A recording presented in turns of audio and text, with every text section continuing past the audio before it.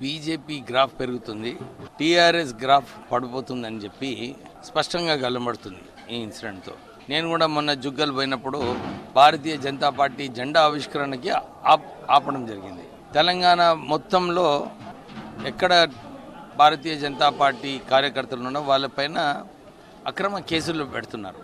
ఈరోజు బండి సంజయ్ గారి పైన దాడి చేసిందంటే దాన్ని మేము తీవ్రంగా ఖండిస్తున్నాం. అంటే కేసీఆర్లో ఒక బుగులు మొదలైంది.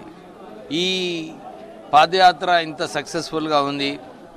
పాదయాత్రతోని టీఆర్ఎస్ది మొత్తం కేల్ కథం అని చెప్పి ఏదైతే వాతావరణం క్రియేట్ అవుతుందో దాన్ని ఓర్చుకోలేక బండి సంజయ్ మీద ఈ దాడి చేసినారు.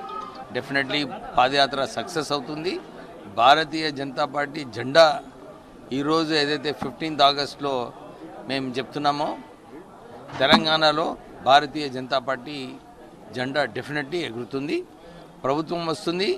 ఈ ప్రజల వ్యతిరేకంగా ఏదైతే కేసీఆర్ చేస్తున్నాడో వారిపైన చర్యలు తీసుకోక తప్పదని చెప్పి వారికి హెచ్చరిస్తున్నాం. ప్రజల సమస్యలు కనుకొని ప్రజలు ఏమనుకుంటున్నారని చెప్పి పాదయాత్ర చేస్తున్నాడు. దాన్ని పోయి దాడి చేసేది అవసరమేముంది? ఆల్రెడీ ఇన్ని రోజులు అయింది ఆయన ఆల్రెడీ మొన్ననే వంద నూట యాభై కిలోమీటర్లు ఆల్రెడీ వాక్ చేసిండు రెండో తారీఖు నుంచి. ఇది మూడో మూడో ఫేజ్ అన్నమాట ఈ పాదయాత్రకి. ఎందుకు టీఆర్ఎస్ వాళ్ళు ఈ కేసీఆర్ ప్రోత్సాహంతోనే అయింది ఈ దాడి? లేకుంటే ఎవరు చేయరు? ప్రజాస్వామ్యం ఏదైతే నిజంగా ఉండానో అదే రోజు దాడి చేసినారంటే ఈ ముఖ్యమంత్రి ఎంత నియంతృత్వ పాలన ఉంది. తర్వాత వేరే వాళ్ళపైన విమర్శలు చేస్తుంటాడు ముఖ్యమంత్రి. ఫస్ట్ ఆయన తెలంగాణలో ఏమవుతుంది పోలీస్ని ఎట్లా వాడుకుంటుండు వ్యతిరేకంగా?